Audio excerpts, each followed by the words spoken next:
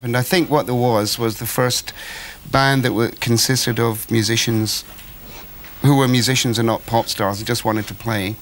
With a Um, great writer. With as a well. great writer, a great lyricist. They wanted to play with me. You know, because I, I wrote the music, he wrote the words. Yeah, right. Right. So I think what happened, yeah, was that. that it, 1967 was really when that band uh, happened. And, and we went, I think when it happened was in San Francisco, the famous hippie summer.